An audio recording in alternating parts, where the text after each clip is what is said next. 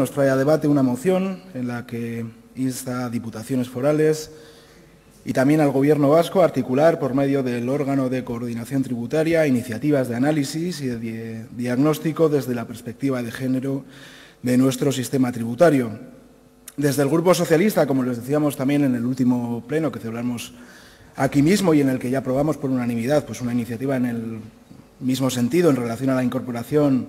del enfoque de género en el análisis y en el tratamiento de la información que elabora el Departamento de Hacienda sobre los datos del impuesto sobre la renta, pues,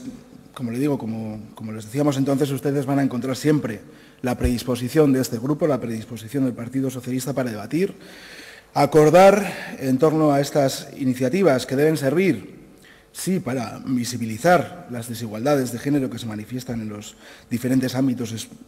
y espacios sociales y económicos, pero que, son debates, entendemos, que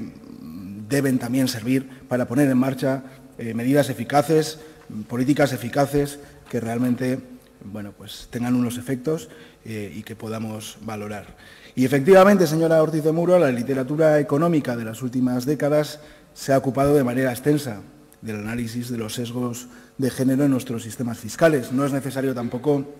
irse muy lejos. El propio Instituto de Estudios Fiscales del Ministerio de Economía y Hacienda del Gobierno de España eh, y, bueno, eh, y extensa eh, documentación académica de diversas entidades, bueno, pues así lo han trabajado, como le digo, durante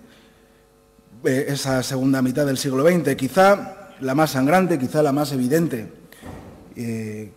que más nos ha ocupado en los últimos años en el debate público, especialmente, como le digo, en España y especialmente de la mano del Gobierno de Rajoy, ha sido la del incremento de los impuestos indirectos, particularmente los incrementos, particularmente la política fiscal en torno al impuesto del valor añadido. Asunto que, por cierto, también ha sido objeto de debate y de acuerdo en esta legislatura, en esta Cámara, en el impulso de diversas iniciativas dirigidas precisamente al Gobierno de España y también al Congreso de los Diputados para reducir los tipos del IVA de los productos de higiene femenina, la tasa rosa, los productos de primera necesidad vinculados siempre inevitablemente al cuidado eh, y, por tanto, que acaban recayendo sobre el bolsillo de la mujer. Efectivamente, este sesgo se produce también en el impuesto sobre la renta, un impuesto que es progresivo, un impuesto que pretende ser justo, un impuesto que debe ser ciego, que pretende ser individual, que pretende ser neutral, pero que es evidente que genera también sesgos indirectos, explicados principalmente debido a la estructura social, a la brecha salarial, a la desigualdad en el mercado de trabajo. El otro día decíamos que el sistema tributario no es neutro desde el punto de vista de género, sería absurdo pensar que lo es cuando atiende a un sistema, a una estructura, a un contexto que no lo es. Lo que sucede, evidentemente, es que esta sociedad no es neutra, ni en la distribución de las rentas, ni en la distribución salarial, ni en el reparto de las obligaciones familiares, ni en el reparto de las condiciones laborales,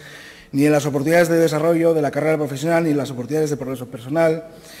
Todo esto acaba, trasladándose también al sistema tributario. Todo esto acaba teniendo una traslación a la política fiscal.